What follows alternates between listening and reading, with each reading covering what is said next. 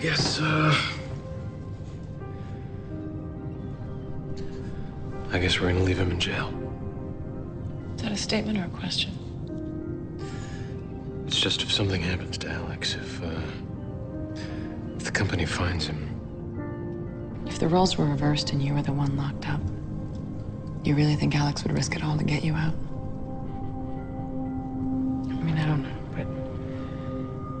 He was a federal agent. I think he'd finish what he started. I think he'd bring the company down.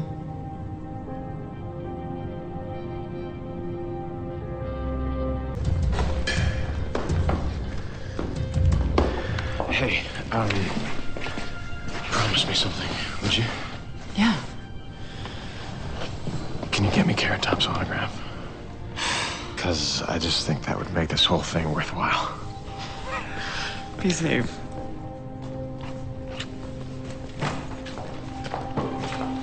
This might not be the best time for this, but I still haven't heard from Michael. They must be dealing with T-Bag. Thinking, come on, What? Vegas just isn't your town. Everything I've heard about you, that would be a pretty big change of pace. I guess so. Lincoln, please talk to me. Michael told you about Mom? No. They were much alike. They got the same mind. As Mom got older, she started losing it. We uh, later found out it was a symptom of a brain tumor. Uh, Irma. Hematoma. yeah.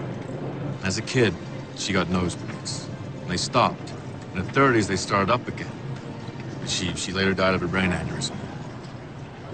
You're telling me this because Michael and his mother are similar in that way too, right? He got nosebleeds as a kid. And they stopped, and the last couple of days, they started up again. How old was your mom when she passed away? 31. Michael's just turned 31.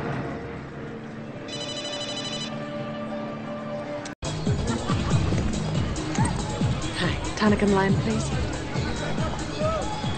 Thank you. I'm in the middle of a nightmare. I wonder if you could help me.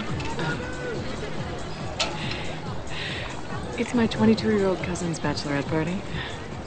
It's hardly the salt mines. Oh, wait for it. There's a scavenger hunt. And my team has tasked me with getting a photograph in a whale's suite. I'm a whale. You've a very scary bodyguard and a very gorgeous watch. You want to take a picture in my room? And I realize it's a completely inappropriate request, but they're already calling me a wet blanket. I'm sorry, I just can't help you. What if I said please? I'm actually a little desperate. Best of luck.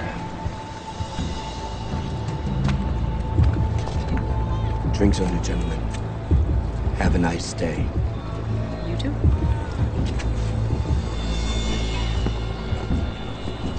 Don't take it personally. You're not his type. Right before you sat down, he asked me if I liked the party.